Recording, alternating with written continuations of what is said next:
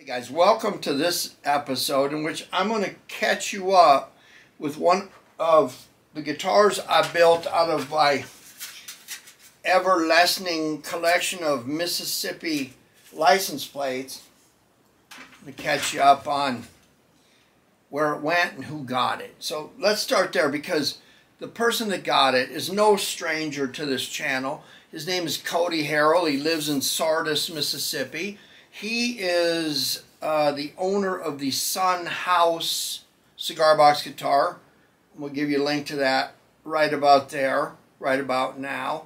Am I looking at this backwards? Let me see here. It would be this way. Yeah, because I got one of them cameras that I can see myself now. Very difficult. Anyway, there's a link up there somewhere with eyes popping up. It says Son House Cigar Box Guitar and he also uh, did some playing on that for us. And I'm going to give you a link to that because I've wasted enough time talking unnecessarily between the links. So there's going to be a link up there a sample of what he did on the uh, Son House cigar box guitar. Anyway Kody and I have been talking about this guitar for a while. It's the first six string license plate guitar I built and Kody is going to tell you about it and play a little bit for you. Um, I'll just tell you, it is themed after Mississippi Fred McDowell. Take it away, Kody.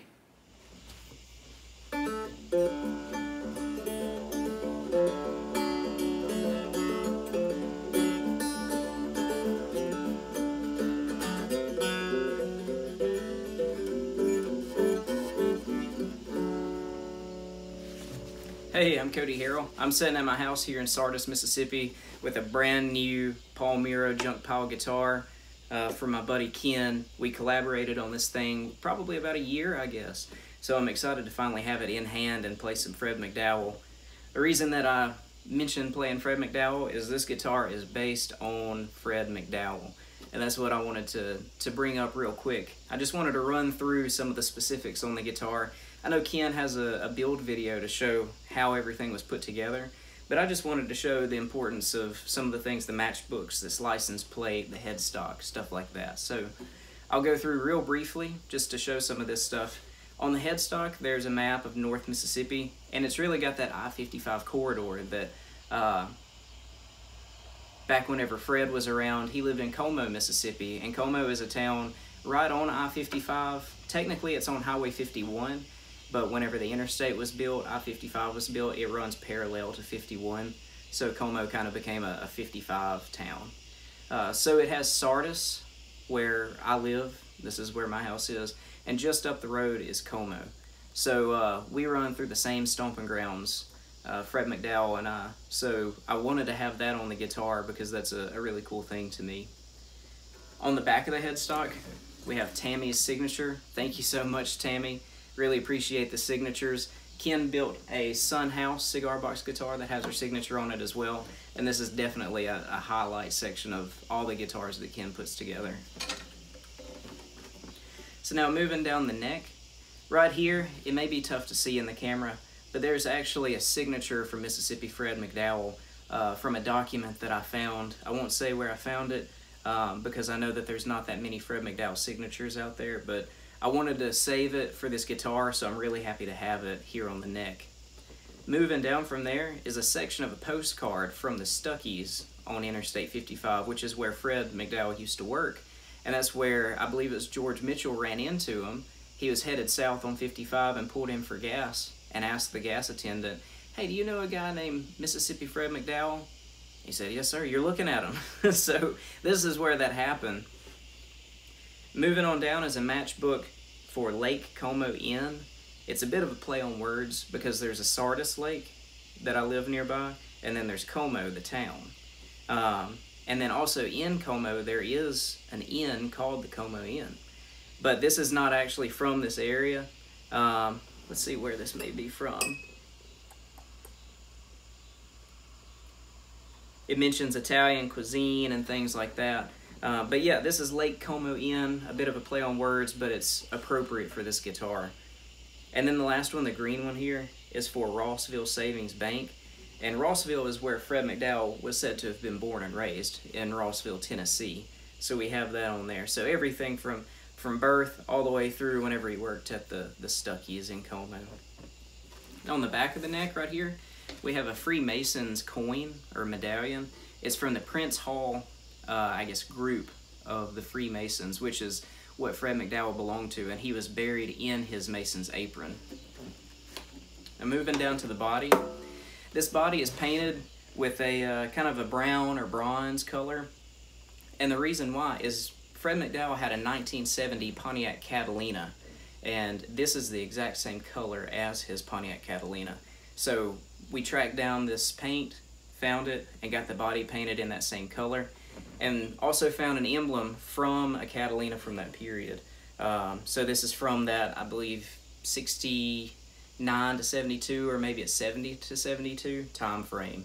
Um, you would find this emblem on Fred McDowell's actual car, really. This isn't the true one from his car, but it would be the exact same. This license plate, this is a Panola County, Mississippi license plate from 1972. The significance of 72 is the year that Fred uh, passed away, and he lived in Panola County. So, uh, so I tracked this down from a guy in Batesville, Mississippi, and as far as I know, he collects license plates, and this thing may have never left the county. It probably did, but it may never have left Mississippi at all until I sent it out to Ken for the guitar build out in California. But uh, I really wanted to have this on there. It sounds great really resonant, so that's really cool. Let's see. Um, one volume knob, no tone knob. Don't need any of that. It's pretty simple, uh, so I enjoy that. Lots of chrome. Tail pieces chrome. We have the chrome corner pieces. The idea was if this was painted like Fred McDowell's car, and this is a license plate like what you might would have found on his car uh, the year that he passed away, I wanted it to kind of look like the back end of a car. So maybe a chrome bumper, chrome accents, things like that. So I think that that turned out great. This gold foil um, has a silver uh, silver shroud around it, so that kind of goes along with the chrome as well. And then on the back is a larger Mississippi map. Um, so this goes from North Mississippi all the way to South. Um, we've got Memphis right at the top, capital of Mississippi. and then just below that, you go down 55 all the way down to Como, down to Sardis, and you can see, you know, the width of my finger or a little less is how far Como and Sardis are from each other. So Fred McDowell and I have shared the same stomping grounds, and that's pretty exciting to me. So um, speaking of exciting, this thing has me super excited. It's tuned to open D. That's where it's going to stay because that's what Fred played in. Uh, and I just can't wait to play Fred McDowell on this guitar at every show. Um, so thank you again, Ken. I really appreciate it. I'm glad that we were able to work this thing up. It was kind of a, a dream that came into reality. So thanks so much, Ken. Let's see how this thing sounds.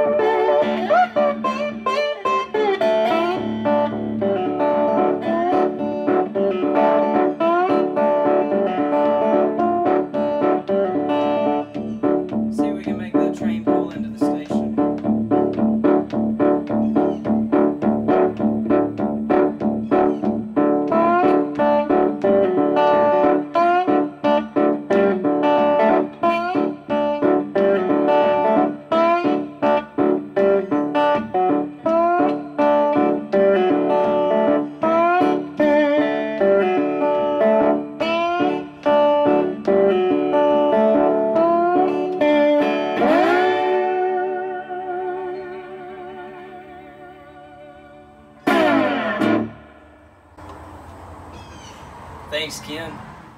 All right, that was incredible. Now, I'm going to give you a link to the entire build of that guitar. It's over an hour long, gets in down into deep details, um, setting up the scale and intonation and all that and all the little pieces and parts that went into it. There's a link right up there right about now to that. Hey, Kody, thanks. Um, you are an incredibly incredible musician, and if you go to festivals throughout Mississippi, you're going to see Kody showing up quite a bit. He tours with some people every once in a while. We know, like the North Mississippi All Stars. Anyway, the Hill Country Picnic. I have the Hill Country Picnic T-shirt on from 2021. Uh, COVID took it out of the way for a couple years, but it's back on. Kenny Brown is there. His wife Sarah puts a lot of this together, and they got musicians that are going to give you true North Mississippi Hill Country blues music. I'm going to give you a link to the festival down below. It might be something you want to schedule a vacation on around. It's towards the third weekend of June every year. North Mississippi Hill Country Picnic, link below. Hey, Kody, thanks, and make sure you send us some more Mississippi Fred McDowell on that license plate guitar we made. Thanks, buddy. The rest of you, give me a like, give me a subscribe if you haven't, and I will see you next time.